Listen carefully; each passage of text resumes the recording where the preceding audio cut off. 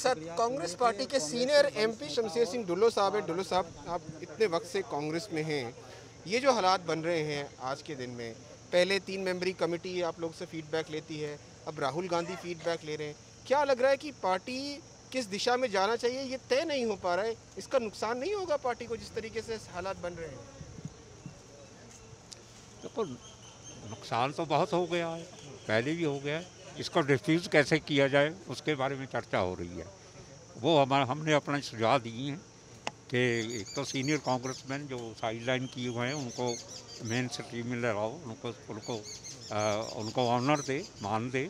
और जो लोगों के साथ मैनिफेस्टो में वादे किए हैं वो चाहे वो बेअदबी का मामला है ड्रग का मा, माइन माफिया है डिफरेंट टाइप का माफिया काम कर रहा है स्कॉलरशिप स्कैम है सीबीआई को इंक्वायरी दो और कर्जे माफ़ी की बात है लेख है तो मजदूर की इंडस्ट्री लिस्ट की बात है। ये सारे वादे पूरे करने चाहिए तभी कांग्रेस का ग्राफ ऊपर जाएगा। लेकिन नवजोत सिंह सिद्धू जो बार बार बातें कह रहे हैं वो क्या आपको लगता है कि वो अपनी जगह सही है वो जो सवाल उठा रहे हैं वो कह रहे हैं कि आ, कहीं ना कहीं जो है अकाली इस पूरे चार साल में उनको फ़ायदा मिलता रहा कांग्रेस सरकार का? बहुत से लीडर उठा रहे हैं। अकेला लीडर कोई नहीं है। बहुत से लीडर उठाते हैं। सबसे पहले तो मैं और बाजवा ने किसानों का जो बिल पास हुए, ये हमने पार्लियामेंट के बाहर धरने दिए। ठीक है? अब बोलने लगे हैं कि कुछ ना कुछ मिलने मिल जाए शायद। बहुत से ऐसे लीडर हैं जो बोल रहे हैं, चार साल तो ये खामोश रहे। उनकी खामोशी लोगों के हित में नहीं।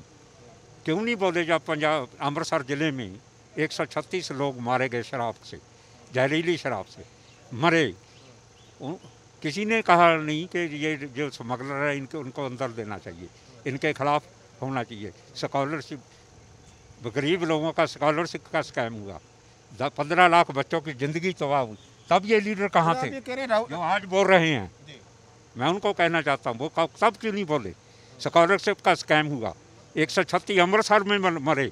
एक भी अमृतसर का लीडर नहीं बोला कि इनको जेल में ठोकना चाहिए स्मगलरों को जो डिस्ट्री चलाने वाले हैं। आप कह रहे हैं कि नवजोत सिंह सिद्धू चुनाव आ गए हैं कुछ मिल जाए इसकी वजह से आप पहले सिद्धू सिद्धू करते हो।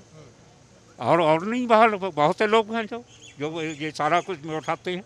अच्छा। आपको लगता है कि ये सिलेक्टिव उठाया जा रहा है? मतलब ये नाराज़गी ये है आप नाराज़गी नहीं है। 136 गरीब लोग मारे गए। जहरीली शराब स्मगलरों ने पलाई। स्मगलरों के खिलाफ क्यों नहीं बोलते?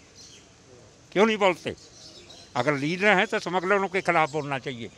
जो स्कॉलर्स के स्कैम हुए हैं गरीबों के बारे में बोलना चाहिए।